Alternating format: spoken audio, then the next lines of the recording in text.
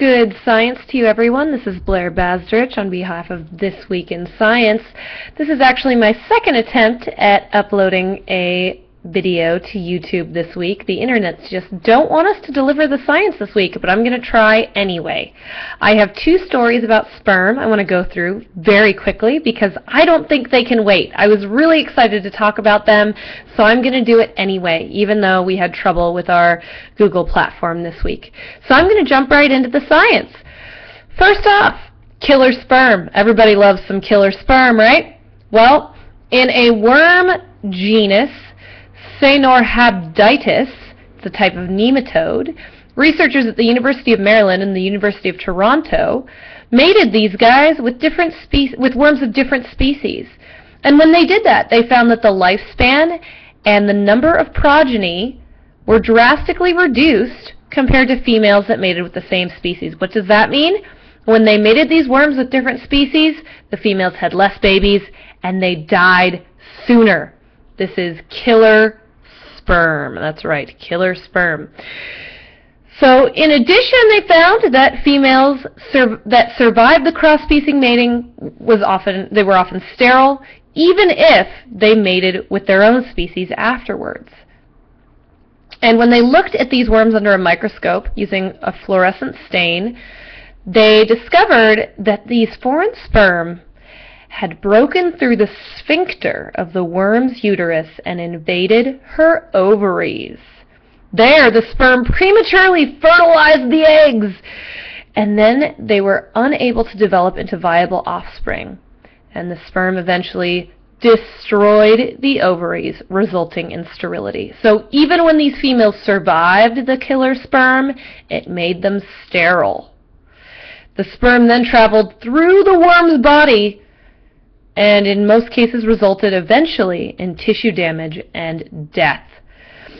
Normally, speciation, the creation of a new species, happens when two species, when they mate, they don't create viable offspring. That's usually how we define a species, is that these two things can't make viable offspring.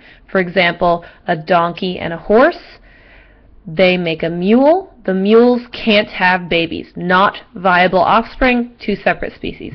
That should be enough of a barrier to species, but it turns out for these nematodes it wasn't enough.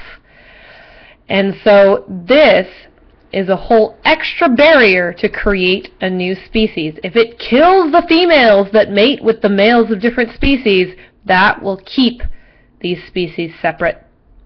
The way they figured out this was so different is that the, they took the these three species of hermaphroditic worms.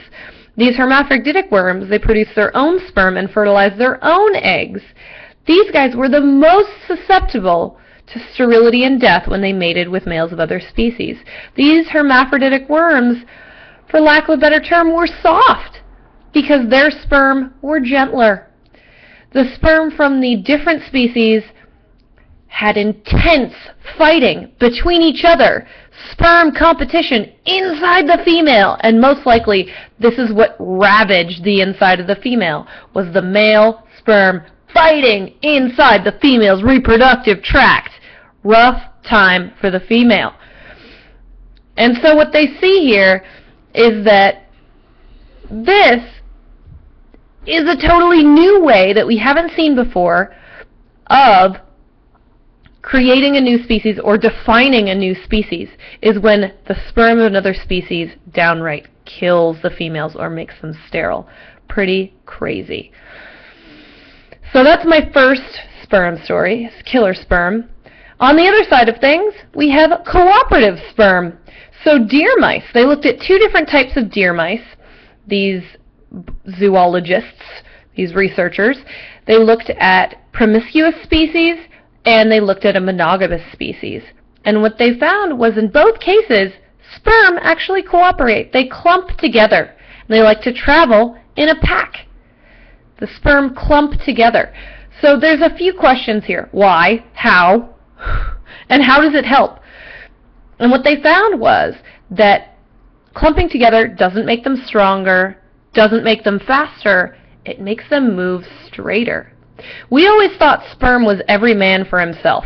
Every sperm is trying their darndest to get to that egg to deliver that genetic information. But it turns out these sperm can work together, make a big clump, go the straightest route to the egg, get there first as a clump.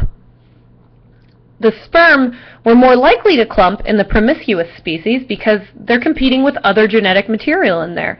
But there was cl clumping in both cases. And through mathematical models and experimentation, these researchers looked at what the best size sperm clump was. Yes, scientists want to know, what is the most effective sperm clump size? They formed groups as large as 30 cells, but the ideal, it turns out, was 8. And the promiscuous sperm, the promiscuous mice were more likely to create sperm that created these clumps of 8 most easily which makes perfect sense. It's more advantageous to get faster or more direct routes for sperm to eggs when you're competing with other genetic information. And I love this. The lead scientist says, in my view, we haven't so much answered the question as we've sharpened it. And we've done by that count a conceptual notion of competition and cooperation in terms of physical and physiological variables that can be measured and lead to testable predictions. So through the combination of mathematical models and actual experimentation and observation, we've been able to hone what we know about what's going on in a reproductive tract. That's that's kind of what I've learned from these two stories. There's so much going on with sperm we don't even know about yet. And every week I feel like I learn something new about getting those DNA bits to match up together to perpetuate genetic information. I think it's absolutely fantastic. But you know, if you're having trouble going to sleep tonight, thinking about killer sperm and cooperative sperm, and sperm of a feather that flock together. TWIS fans, I want you to remember one thing. That is that no matter what's keeping you up at night, it's all in your head. Thanks.